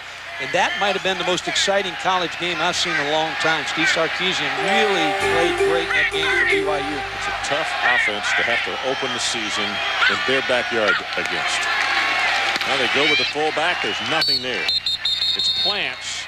And he was submarined at the line of scrimmage by Mike Mooring, the big senior out of Westchester, Pennsylvania. And you know Karl Benson, the commissioner of the WAC, had to be happy because this Super Alliance is trying to squeeze the WAC out. You can't squeeze the WAC out. That's college football. Everybody be involved in a championship. And I thought they sent a message to not only the Big 12, but college football that, hey, let's don't forget about the WAC. That's a pretty good conference. Yeah, for everybody, I think that plays BYU or Utah or San Diego State, those guys, they'll they'll have their hands full. Let's carry Mott in motion at the top of your screen. Still looking deep over the middle. Got it complete at the 15-yard line. And again, it's Chad Wable, his tight end. 6'5", 250. And Maurice Harris makes the tackle on him, and they spot it inside the 15. It's good for 23 yards. What West Virginia did there was motion out to tailback Amos Zereoué and throw all vertical routes. All four receivers went were going down the field with streak routes, and he just read the middle of the field and was able to get the ball in. He's reading the middle of the football field right now. And now he finds the receiver, number 87, Chad Wable. Well, if, if Chad Johnston wanted to make his mark as far as opening the season and making an impression, he certainly has. Zereoué spins, turns, going to have four at the 11. Curtis McGee from his strong safety and Maurice Harris there to combine on the stop. You see number 90, Maurice. We talked about West Virginia visiting the 49ers and Bill Walsh's offense in 1995, 76 receptions by the wide receivers, and you see the tight end, fullbacks, tailbacks, nothing. But all of a sudden tonight, three by the tailbacks, one by the tight end, and that might be small tonight, but you're going to see them grow in each week of the season. This is a different offense, a little tougher for people to defend. Zereoué on the sweep. Cuts it back inside. Three, four. And short of the first down. It's going to be third, and he'll need a couple. Johnston now. Johnston has completed 10 in a row. His number's 12 of 16 for 158. Ron, you made the statement that Don Nehlen said he beat you with his arm and his head. He has done as much damage to Pittsburgh tonight with his head uh, and, and you, just the subtle things that you see, calling the trap at the line of scrimmage against the three technique, where a guard's outside of the guard. Seeing that man coverage is both corners are over on the side against a two receiver side, knowing the blitz is coming, picking it up and hitting Vanterpool. Hitting Foreman in the end zone against man coverage. he has just pushed all the right buttons tonight. He's, he's really been poised. He's worked very hard on his feet. That's one of the things that, that he complained about himself. He said, I don't have great feet and I'm not going to beat you there. But he has not beaten himself with it either. You see him stand up immediately and tell Foreman, no, you're setting wrong. He's changing the play. He's changing probably to a run or a play action pass. Zereoué tries to bounce it outside. Whoa, does he get hit? Plays over. The helmet came off. That is a new rule this year, which is it. you see him marking it back before he made forward progress to the five. It's a good new rule they've got this year, Mike. Folks, nobody knows the rules better than my man right here, Ron. Now, he knows the rules, and you're exactly right, a new one. And but you got to get your head knocked off to do it. yeah. on, on TV. That's McGee who came up and made the hit. But just think if a, if a tailback went out, made a move and gets hit, and the helmet goes off, and he takes off and uh, runs for a lot of yards, it's coming back. He had to go out of the ball game. And I don't know if he was shaken up or trying to get that headgear fixed. Field goal. Taylor knocks it home. And we have West Virginia now on top by a count of 27 to nothing. Let's take a break. 5.59 left in this third quarter. We'll be right back. 27 to nothing now. West Virginia on top. Zereoué got his headgear taken care of. And the reason, of course, he was going off the field is because he is not on the special teams. As you look at Hackett, he prepares to kick it off for the Mountaineers. And they have uh, handed the Panthers a pit a zero so far. We still have six minutes to go, third quarter.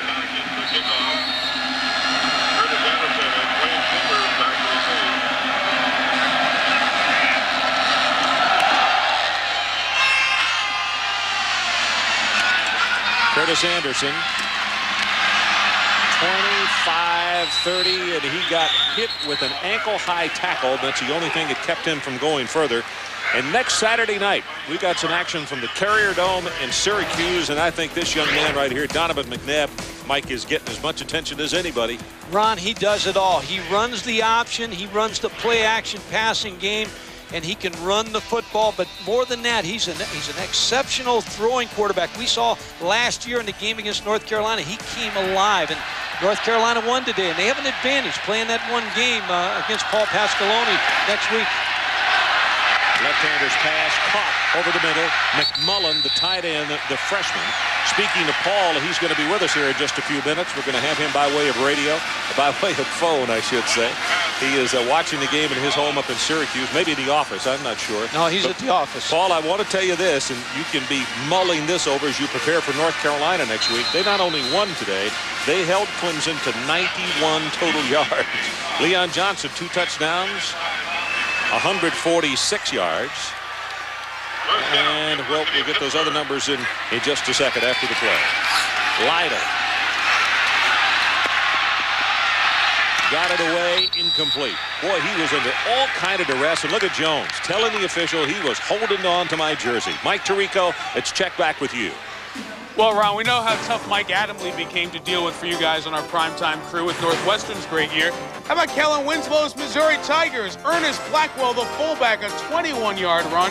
And in Austin, Missouri is within three halfway through the second quarter. Ron. All righty. That surprises me a little bit. Playing that ball game at, it's not official yet, but at Darrell K. Royal Memorial Stadium. Just voted on on Oh, Thursday to, that's, to name that. That's outstanding. That's well deserved. Kellen Winslow is going to have to start giving more money to Missouri's athletic department, like Mike, Mike Adamle and Adrian Karsten to Northwestern. That's right.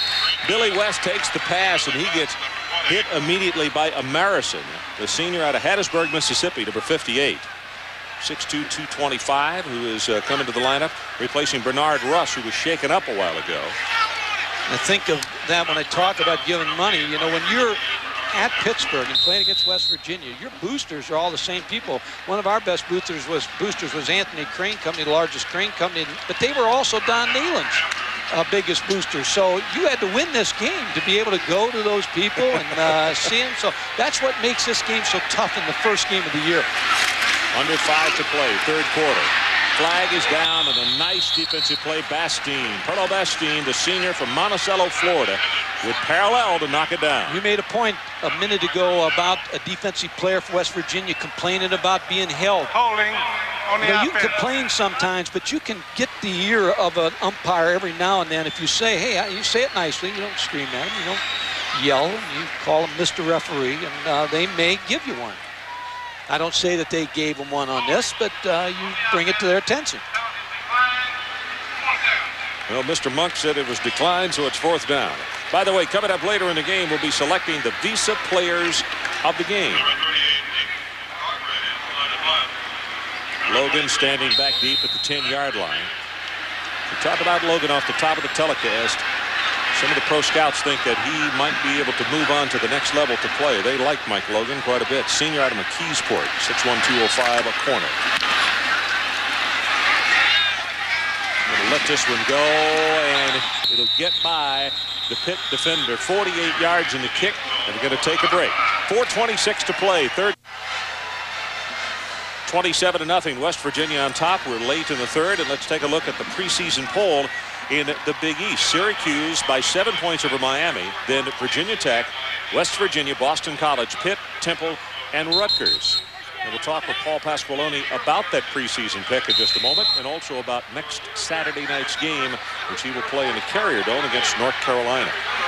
Right now, our situation, first down, West Virginia at their own 20. Barry Mott, 5, 10, 15, 20, and he's off to the races.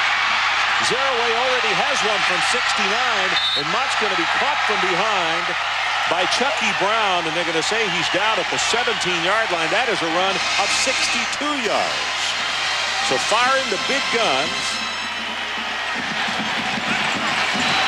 69 yards, Mike, and now a 62-yarder from scrimmage. Well, again, good balance in their offense. They're able to throw the football. This is out of split backs. Kerry Mott gets a good block on the right side. Now he uses great cutback. You see, he doesn't switch the ball. Keeps the ball in his right arm, which I like. In the old days, they wanted you to switch the ball to the outside, but sometimes you switch it in traffic and get it stripped and fumble it. So I like that about him. That old uh, that old expression looked like the bear kind of jumped on his back there, didn't it? Well, he didn't expect to go that far, I don't believe. Somebody catch me. Short drop, pass for the end zone, uh, dropped it. That is his first incompletion In his last 11 passes, that's the first one. Outstanding coverage cover. by Rashad Whitmill, number two. He played that about as well as you can play it as a corner. Again, he has not practiced. He's been hurt with a groin injury and he's come out here tonight and really given great effort to this Pitt team.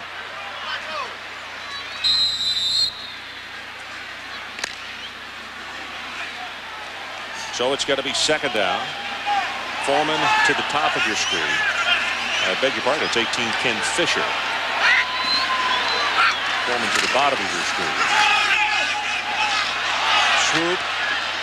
Going to be stacked up at the line of scrimmage and now a third down situation. And Paul Pasqualoni, I know, is standing by at his office, and let's let's bring him in as we watch this West Virginia drive.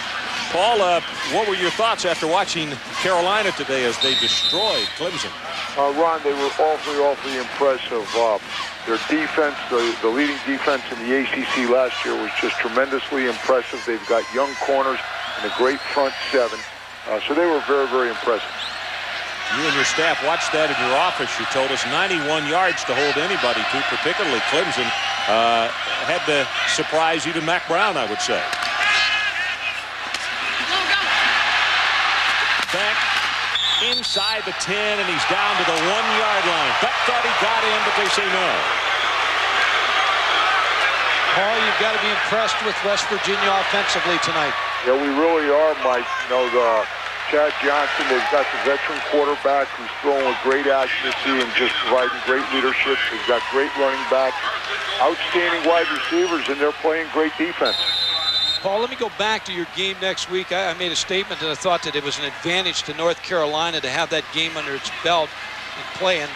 Uh, we'll, we'll come back to it after this play, Paul. First down and goal. The ball just inside the one-yard line. Fumble the snap by Johnston, and he gets on it at the three, or about two and a half. But, Paul, you guys have got to be ready to play. You're probably tired of hitting each other.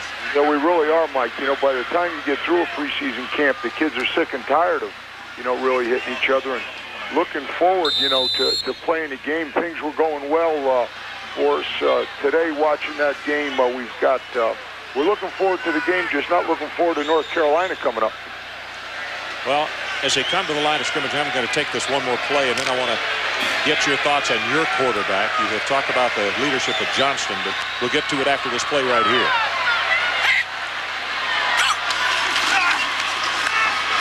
Play action. Got him. Touchdown Fisher.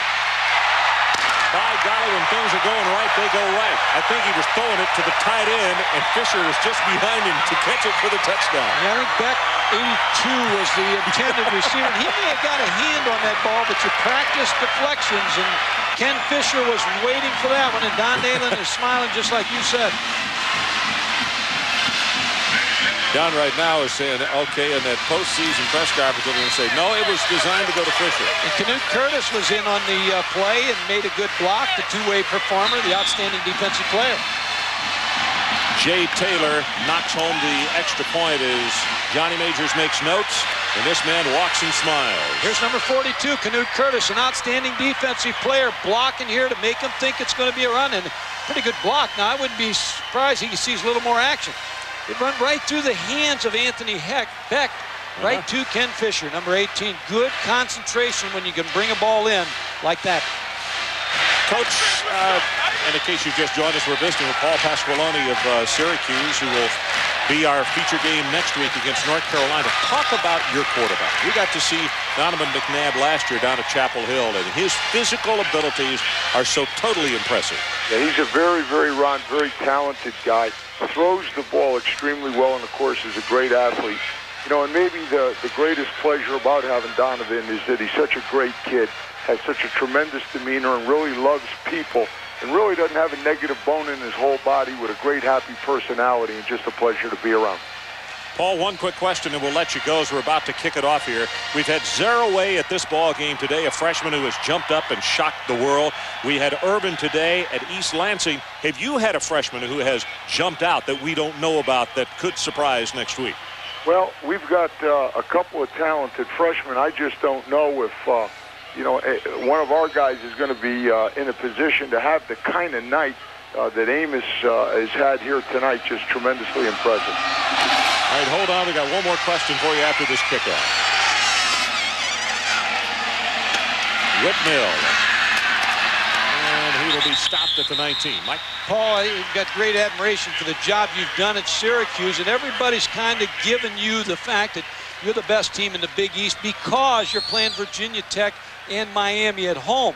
I, am sure you feel the same way. I don't think you can just because you're playing them home. The, the Virginia Tech returns a lot of talented players, but uh, it is an advantage, right? Well, it is always an advantage to have these people at home, but you've got uh, teams, you know, you've got quite a few teams, Mike, in this conference. You've got Miami, Virginia Tech, you've got West Virginia here really coming back this season, and you can see it right now. So all of that stuff is great on paper, but you don't win a conference championship on paper.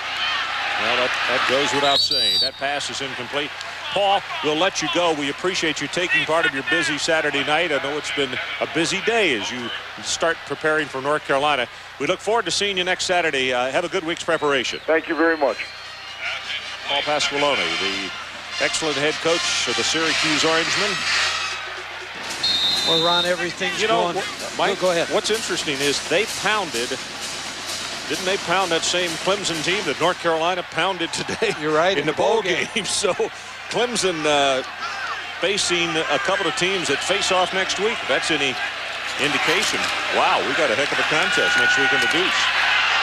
Pass tipped, almost intercepted, and incomplete.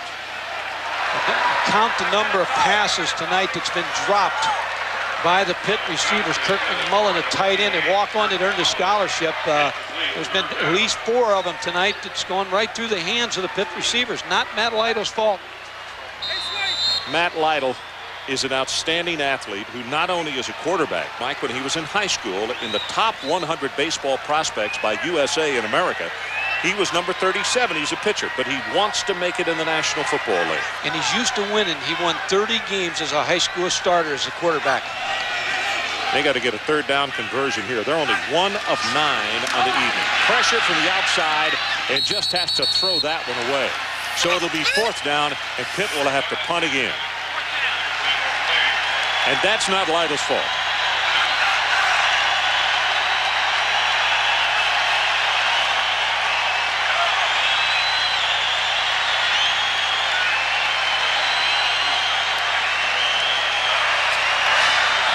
Look at the defense. The Mountaineers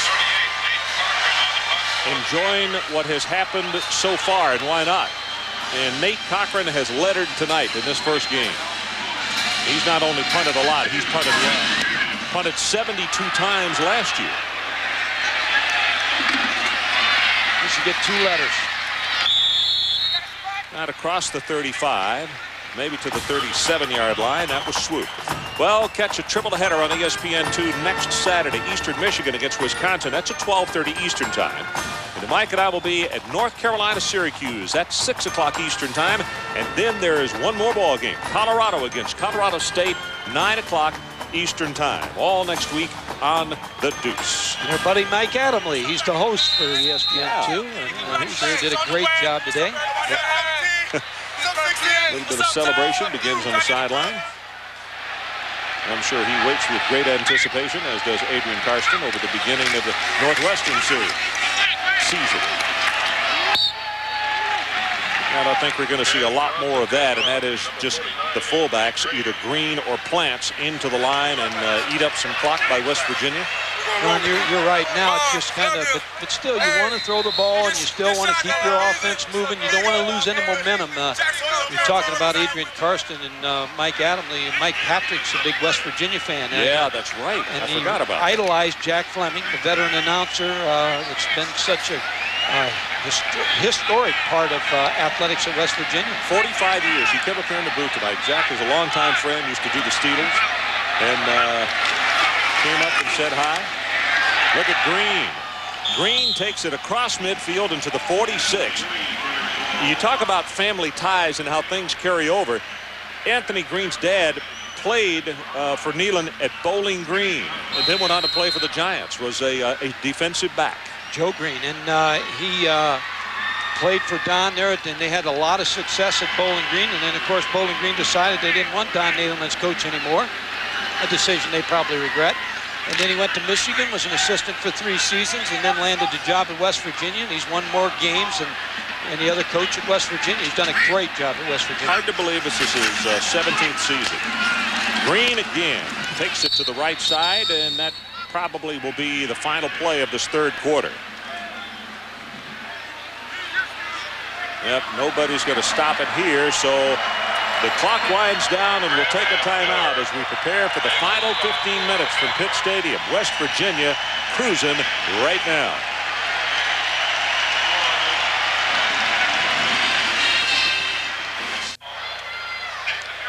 34 to nothing. That's the upside for the fans from Morgantown, West Virginia. The downside is now Bernard Russ has hobbled off the field, being helped to the locker room.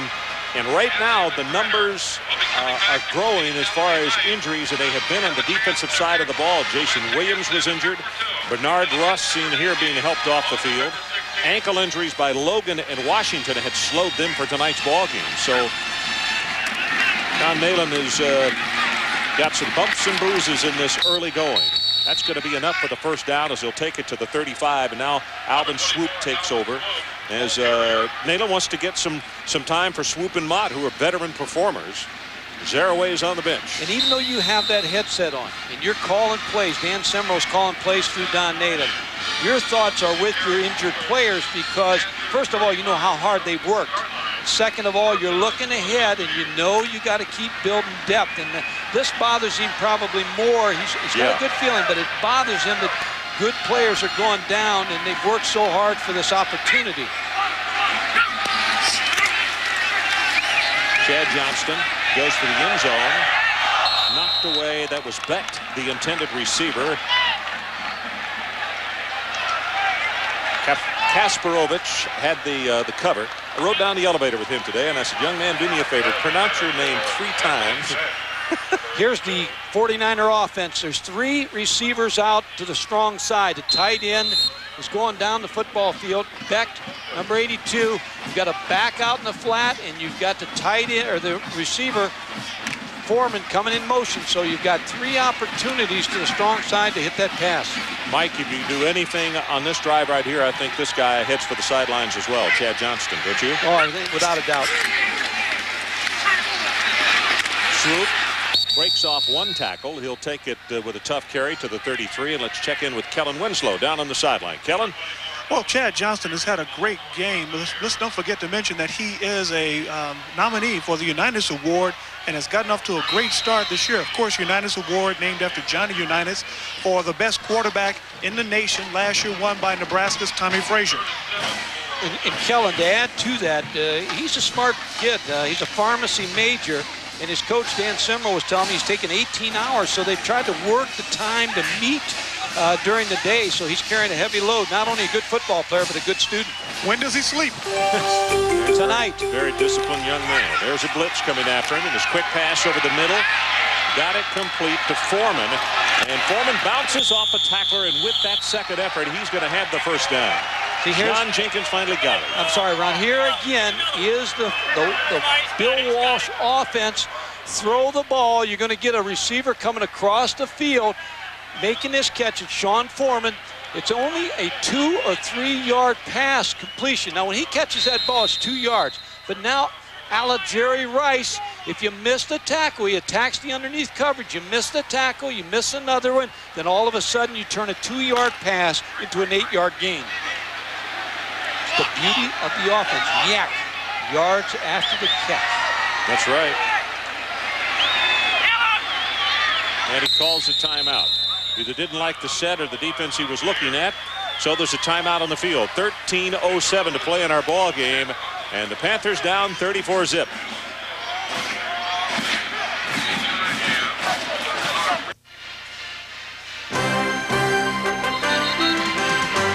ESPN's presentation of Saturday Primetime is being brought to you by Jeep, makers of the new Jeep Grand Cherokee, Cherokee, and Wrangler. And by new Speed Stick Gel. It's unbeatable gel protection, just for the guys. Well, back to live action. They were about to snap the ball, and uh, a flag has gone down. So we'll check with uh, Mr. Muck and see what Looks like they're picking the flag up. Dead ball, encroachment to the neutral zone on the offense. Marking Remains five first yards. down. Well, good good for whoever did it because we would have missed the play had it not. And it also gives us an opportunity to say a very happy birthday to our good friend Beano Cook, He has a birthday tomorrow, 65 years. Well, I'm Beano, I'm sorry. Mike transposed that number. I know it's 55. 56. Some people call him a football guru. Other people call him a lot of other things, and it ain't guru. I can tell you that. He's a good man. Happy birthday, Beano. Gonna be sacked. And that's Coakley who comes across in the blitz and gets him from behind. And Mike, one of the things, that's the first sack that they've had on Johnston tonight. But one of the guys, as far as a report card for a good ball game tonight, that will make Pittsburgh smile, although they're down 34 to nothing. Coakley has shown for himself pretty well. Well, I said he was a wind-up toy because he only practiced 28 days, so he didn't know where he was going to go. But Ernest Coakley's a football player. They, they were able to tell that in early fall practice. He's just going to get better and better each day. He's a Pittsburgh football player. Learns what to do. It outside, and the ball is dropped. Swoop had a huge hole there. Had to go back and get the football, and Curtis McGee came over to make the defensive play. I don't think that was the play. You know, Gale Catlett, the respected basketball coach of West Virginia, came out the other day. They have a great relationship. Don Nehlen, he, they've been together so long. And Don Nehlen says he comes out every year and gives me a play. I Don't know if it was that one, though. Well, let's give him credit. Because there was a little dribbling there on the ball. Catlett gets credit for that one. Gale's a very, very good basketball coach.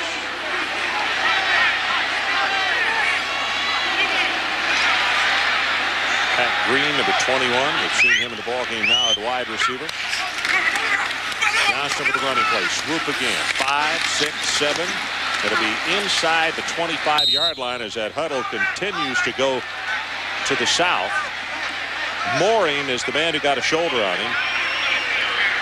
I would think this is going to be about the end of Chad Johnston for tonight. Even Yeah, with 11-19 on the board, uh, I would think that probably the next series we'll see the backup quarterback. Fourth down, Terry. Five ball. Ball is up to the 25-yard line. Official time. Official time. I got injury. Bill Johnston comes back out at his fourth down. Coach, that's it. That's it. Here we go. One base, base, base, base. Strong safety back out. He's over there. He's out. Okay, better be careful with those microphones down there. That's we're around some guys who could be a little frustrated.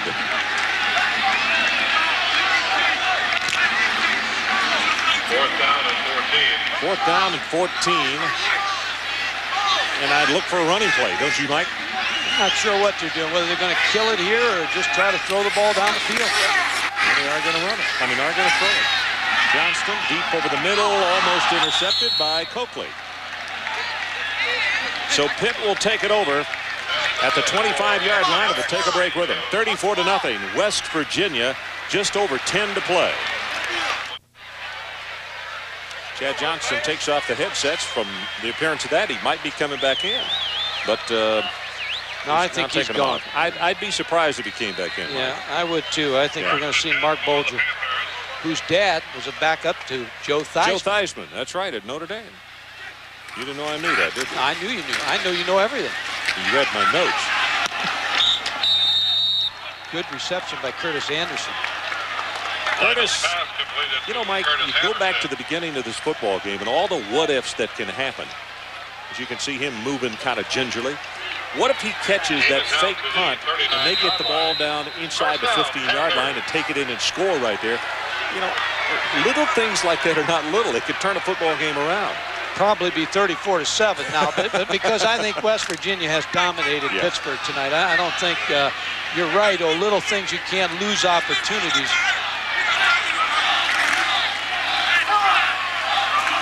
Lytle drills this one to the 45. That's to Anderson, and that right there showed what kind of ability.